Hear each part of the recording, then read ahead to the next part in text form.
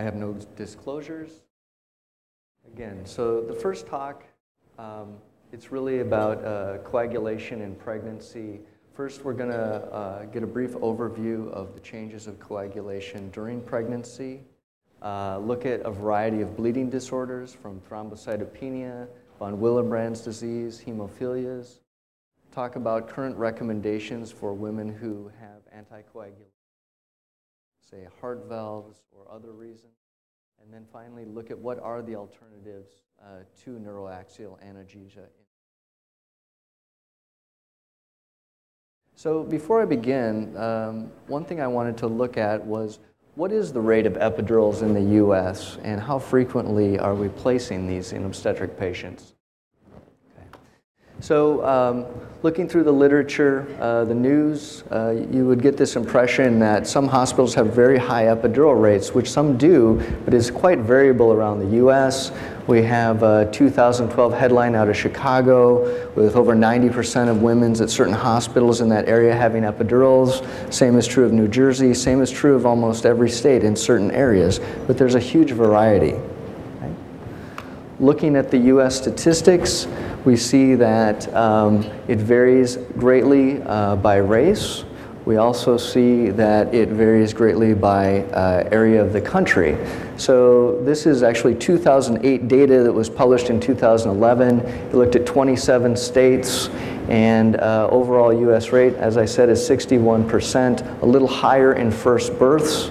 It ranges greatly from state to state. Kentucky seems to lead with about 72% of uh, laboring women having epidurals, and New Mexico is lower at 22%. Okay? California is somewhere in the middle at about 40, and again, um, quite variable. It turns out education level uh, plays a role. Uh, the more education you've had, the more likely you are to have an epidural. Whether you have a midwife or an obstetrician taking care of you, slightly higher rate uh, with the obstetricians. If we look more internationally, we also see a variety of rates. Um, Canada is around 55%. Um, we see Great Britain at uh, 25%, Netherlands around 30, and you can imagine uh, the variability we see globally. Okay. So current contraindications to epidurals, there's a whole variety that you're familiar with. The one we're going to concentrate on this talk is just coagulopathy. So before we go into the uh, bleeding disorders, just a brief review of the coagulation changes of pregnancy. You have a variety of elevated factors from factor 7, uh, 8, 10, and 12, fibrinogen. Uh, other factors remain unchanged. Um, because of this, markers of coagulation, PT and PTT, are slightly decreased, as you know. Antithrombin 3 can be down. So for all these reasons, um, a couple of things happen. Obviously, we have an increased rate of DVTs and PEs. And additionally, because some of these factors are elevated, they greatly affect uh, the changes uh, of these bleeding disorders like von Willebrand's or hemophilia in pregnancy. We're going to start with thrombocytopenia. There's a great variety of causes of thrombocytopenia. You have pregnancy related in the left column, other causes in the right. The nice thing is you really don't need to know all of these. It turns out if we look at gestational thrombocytopenia, it causes about 70 or 75% of the pregnancy-related cases that you're going to see. Preeclampsia comes in at about 20% of what you're going to see, and then ITP uh, has another 3%. So if you're familiar with these three, that's about 95% of the thrombocytopenia that you're going to encounter. So starting with gestational thrombocytopenia, it affects a fair number of pregnancies, 5 to 8%. Typically, platelet counts remain above 70,000. It's normally not seen in these individuals when they're not pregnant. Typically, it's found towards the third trimester. The other benefit is over two thirds of the cases, the platelets remain above 130,000 and are really not an issue. How is it treated? Normally, we don't need to do anything because the platelets remain high enough. Occasionally, we can give a brief course of corticosteroids. ITP, a little bit more rare. Um, the problem with this is it's very difficult to distinguish it from gestational thrombocytopenia. Some things that can tip you off are as it normally occurs in the uh, first trimester. It's often associated with being present uh, when the patient's not pregnant. It's a combination of insufficient production by the megakaryocytes as well as increased destruction. Unlike gestational thrombocytopenia, uh, you can have problems with the neonate. You can have low platelets in the child also, and in 1% to 2% of these cases, you can have intracranial hemorrhage. So it's much more worrisome than the gestational thrombocytopenia. Um, it's diagnosed uh, with a variety of studies uh, in conjunction with hematology. Typically, these platelet counts are much lower, below 70,000. Uh, glucocorticoids are the first line treatment. However, if that doesn't work, uh, IVIG can be given for a few days, uh, raising the platelet count. But unfortunately, it's transient. And each time this is given, the effect is a little bit less. In patients that are refractory to this type of treatment, um, they can give anti-RHD. What they do for uh, Rh positive patients with this disorder is they take pooled plasma from Rh negative individuals. The antibodies that are in there bind to the red cells, and this sort of um, overwhelms the spleen and it concentrates on taking up the red cells rather than the platelets. So it can be uh, effective in cases that are resistant to IVIG. And then finally, for refractory cases, uh, splenectomy is in order, but obviously it's quite rare that you get to that. Okay. So with low platelets, the question we always come up with is, should we do the neuroaxial blockade or not? And as you know, we don't have a strict number uh, that the ASA puts out. Uh, this is still the most recent survey that I could find. Um, questions of both academic and private practice individuals as to would they be willing to place an epidural in an otherwise healthy pregnant patient with the following platelet count. You can see over 100,000, the majority would. 80 to 100, uh, a few uh, would rather not. And then once it gets lower, uh, the majority uh, would not.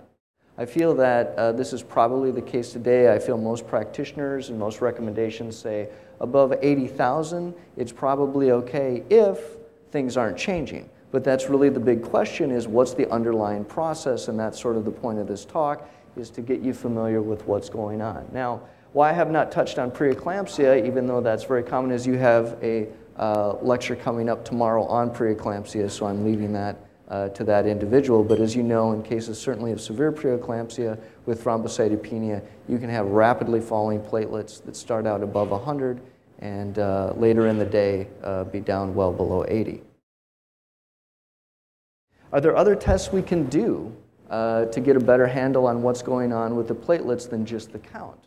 So we have TEG, we have ROTEM. This afternoon you have an entire lecture on uh, point of care testing that's mainly going to be on those two topics. Okay. Where are we with that? Um, a lot of centers do use it. I think it does add some information. We don't have great studies right now on what we can do for that information. Where, where we are is really just looking at normal values in pregnant people and getting those uh, published. So uh, we have uh, values now for ROTEM and TEG that have come out uh, in the past few years to give us normal values, and I think uh, coming in the future will be a better understanding of what we might want to do with the added information of TEG and ROTEM. So again, no published evidence on specific platelet counts that you would want to use.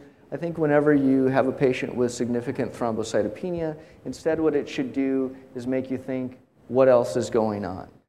What's the bleeding history? Why are they bleeding? What's the disease process behind it? Are they on anything else uh, medication-wise? Um, disease processes like preeclampsia affects the platelet quality. Um, are they in DIC? Is it a consumptive process? And then really sitting down with the mother and having a very frank discussion about potential risks and benefits of the neuroaxial blockade, the other options that are available, and really taking each uh, case individual by individual and making your decision. Von Willebrand's disease, um, very common uh, hereditary disorder. Almost one in 100 patients still uh, that you'll find uh, undiagnosed. So this will come up where they will have uh, abnormal bleeding and not carry this diagnosis. There are a variety of types of von Willebrand's disease, as you know, so these patients are going to be cared for in conjunction uh, with hematology. They'll do a variety of tests on von Willebrand antigens, aristocetin cofactors, to determine what type of von Willebrand's it is. We're not going to go through each type, just the general knowledge that there are a variety of types and each one uh, will have a different response to certain treatments. So for type 1, DDAVP works quite well. Um, a lot of times in pregnancy, uh, because certain factors are up, like we talked about, you may not even need to give uh, DDAVP. If you do, typically we give it about 30 minutes prior to the procedure, uh, neuroaxial block, or the cesarean section. This peaks 30 to 90 minutes after it's given. It lasts less than 12 hours, so repeated doses are often necessary. The goal is to really maintain uh, the von Willebrand's factor and ristocetin cofactor uh, greater than 50 international units. So uh, studies are often drawn by hematology in the peripartum period. Types 2 and 3, uh, although 2A is um, responsive to DDAVP, uh, the other types typically are not.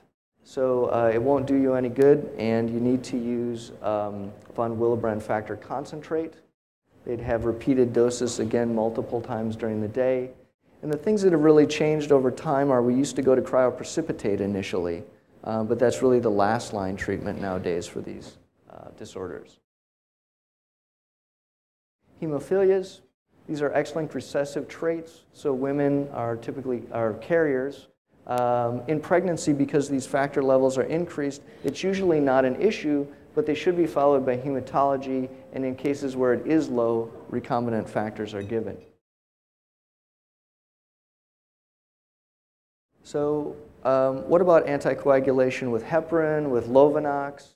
There's a variety of reasons people might be treated uh, in the uh, peripartum period. In pregnancy, you have a venous thromboembolism history, people with uh, heart issues, uh, mechanical valves, and then in some cases of uh, protein uh, C and S, uh, factor V Leiden deficiency, uh, they may be on anticoagulation to help pregnancy loss. So the first thing is you want to know why they're on the anticoagulation, and you want to know exactly what is being done. when the word prophylaxis is used, it can mean a lot of different things in pregnancy. In the non-pregnant patient, uh, with unfractionated heparin, we typically think about 5,000 units BID, but in pregnancy, those are often increased 7,500 BID in the second trimester, 10,000 units BID in the third trimester if they're on unfractionated heparin. You want to know if the Lovenox is prophylactic or therapeutic, and all these um, will influence your decision. There are new guidelines uh, that have come out by ASRA in 2010 we'll go over. And uh, just for general knowledge, uh, you know, rates of spinal hematoma are exceedingly rare, but obviously if patients are on anticoagulants, these are probably increased. We don't really know uh, the true rates uh, because they're so rare. And this is, of course, what we're trying to avoid. You have the spinal hematoma at about L1 to L3. Okay, so what I've done on the next two slides is combined uh, recommendations from the US, Europe, and the Nordic recommendations. These all came out in 2010. So the US is in the uh, left-hand column with Europe and the Nordic for comparison. So sub-Q unfractionated heparin, as long as you're 5,000 BID, meaning 10,000 less total dose for the day, um, you can basically place the neuroaxial blockade uh, whenever. If they're on IV heparin, the dosing uh, recommendations uh, that have changed are that you, you, after you turn it off in two to four hours, you really need to have a documented PTT or ACT prior to proceeding uh, with neuroaxial block. Low molecular weight, 10 to 12 hours. If they're on prophylactic dosing, uh, that would be 30 BID or 40 Q day. And if they're on therapeutic dosing, you need to wait a full day uh, since their last dose. Okay? No issues with aspirin. Other antiplatelet drugs are uh, quite a bit longer. Typically, women are not on warfarin um, at the, uh, in this stage, but I put the guidelines up there also. What about after the anticoagulation? I mean, um, what, after, what about after uh, the neuroaxial block or the catheter is withdrawn? How long do you need to wait before restarting the anticoagulation? So, um, sub-Q heparin, again, uh, as long as it's within those guidelines of 5,000 BID or less. Uh, you don't. IV heparin, about an hour. You can see with low molecular weight heparin, it uh, varies whether you placed a block or you withdrew a catheter, slightly greater if it was a block placement um, for both uh, prophylactic and treatment doses of low molecular weight heparin. Okay. So you have this patient um, who is not suitable for an epidural. You've determined that either because of underlying disease process of low platelets or coagulation disorder or the fact that they're on heparin, you don't want to do a neuroaxial blockade. So what are the options?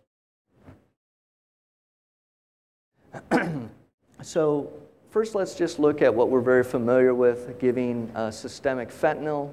Uh, a lot of the data in the past have been done uh, by Dr. Rayburn.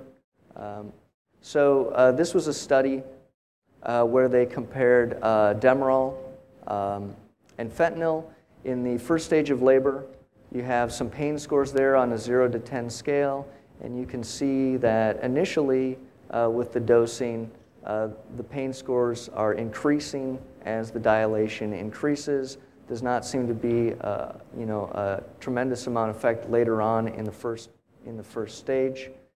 And um, as you know from using this, it can be less and less effective as the labor progresses. Nitrous oxide, um, available in just a few centers in the US. UCSF happens to be one of them. This is also quite variable. Approximately 10% of patients, when we use this, have uh, very good pain relief, but uh, almost 30% state that they have slight or none. The way we deliver this is um, you can, uh, we happen to have it piped into uh, all of our labor rooms, and we have a uh, mobile regulator that we can hook up to the wall we deliver 50% nitrous and 50% oxygen by uh, face mask. Uh, the delivery is controlled by the patient, uh, creating a negative pressure in the face mask. And uh, these are also available with e-cylinders that connect to them and can be rolled around to the labor rooms. Uh, again, for some patients, I think it works very well. Um, for others, uh, maybe not so much. The best way to have it delivered, we feel, is to have the patient start breathing it at least 30 minutes or more before their contraction. Uh, it takes probably uh, eight breaths, almost uh, 45 seconds for it to really come on board. And then um, that's when they begin to feel a little bit of the analgesia. We obviously have much better luck with patients that have come to us specifically because they know we have nitrous uh, they're fairly motivated for this analgesic technique. this is a, uh, a, study out of Finland in the 90s comparing uh, some other methods of labor analgesia to epidural anesthesia. You can see water blocks on the left. We'll talk about after this slide. Nitrous, uh, Demerol, uh, paracervical blocks, and epidural blocks. Uh, they had the patient give a pain score prior to the type of analgesia, and then took a pain score right after it had been instituted, and uh, understand that the labor is progressing. And so that's why you're seeing a lot of the pain scores going up uh, with some of these other options. As a matter of fact, the only one that it substantially goes down in in this study is with the epidural analgesia. So water blocks, nitrous, uh, Demerol, uh, paracervical blocks, um, not significantly different. There's a study done uh, in uh, 2002. Uh, it was repeated again in 2006 with similar results. This is called the Listening to Mothers Survey. Um, they did something novel. They took um, a little over a thousand women, called them up uh, within six months of their delivery, and asked them what did they use, how would they rate it, was it helpful, these are ordered in most helpful to least helpful.